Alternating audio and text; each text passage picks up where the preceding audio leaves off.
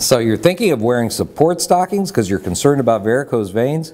Brother, you've got a lot of problems, but believe me, that is not one of them.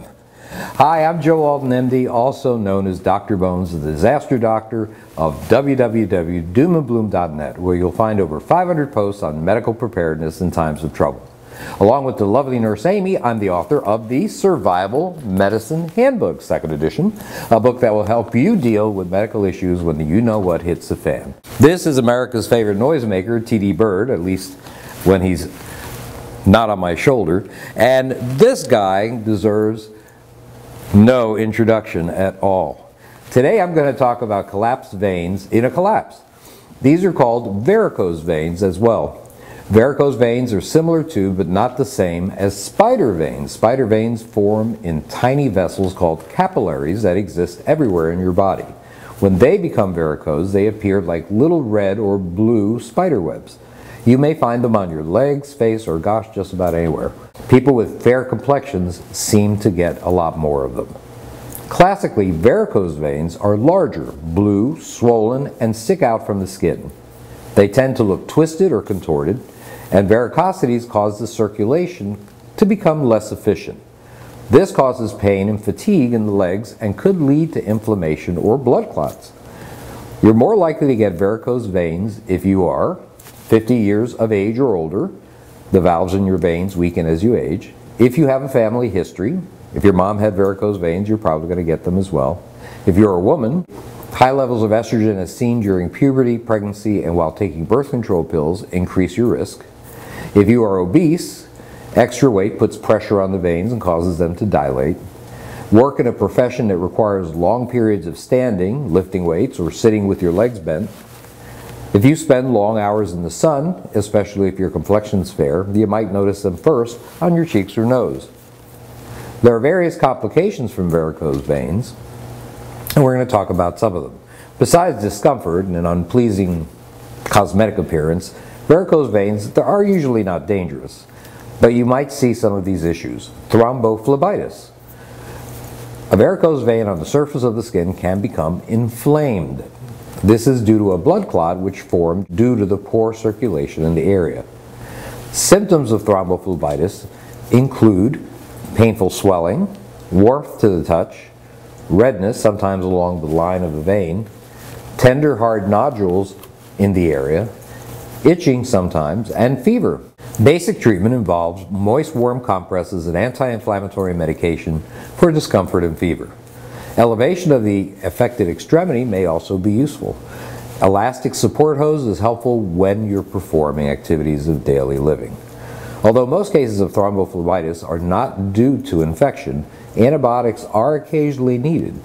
Cephalexin, Keflex or Fishflex, is known to have activity against Staphylococcus, which is the most common bacterial complication of thrombophlebitis.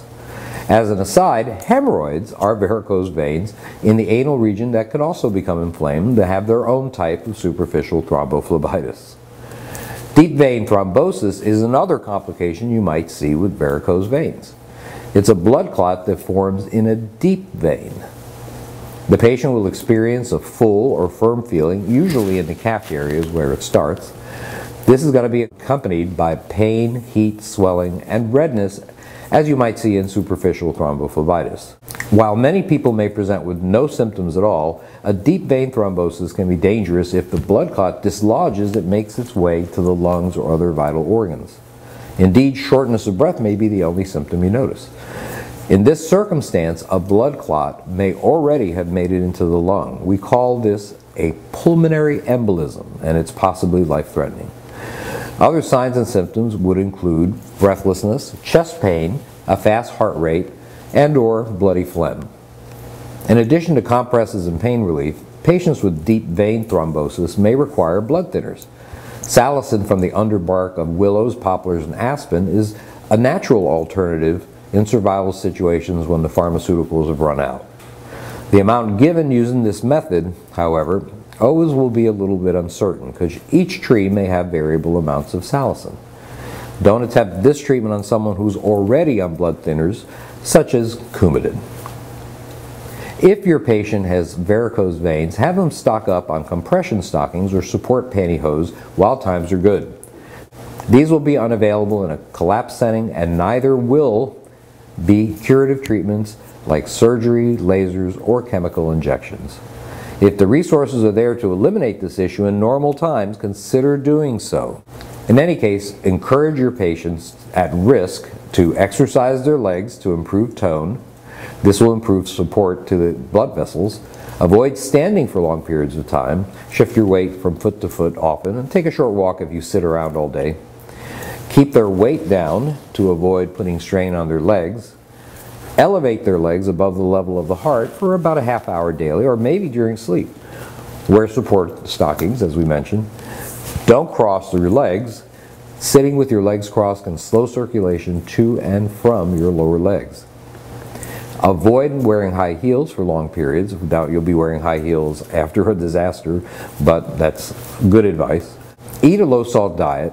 Less salt consumption can help with the swelling that you see with varicose veins and wear sunscreen to limit spider veins, especially in people with fair complexions.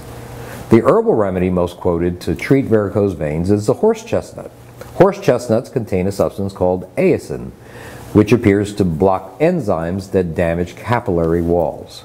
Make a tincture, a grain alcohol-based mixture, with the herb and take one tablespoon of it maybe up to three times a day. For external use only, you can rub a mixture of four parts witch hazel with one part tincture of horse chestnut and rub it on the affected varicosities. Hopefully you'll never see a deep vein thrombosis or pulmonary embolism in times of trouble. However, you will see varicose veins. Knowing how to deal with them will improve your group members' comfort and functionality. This is Joe Alton, that old Dr. Bones, wishing you the best of health in good times or bad. Thanks so much for watching.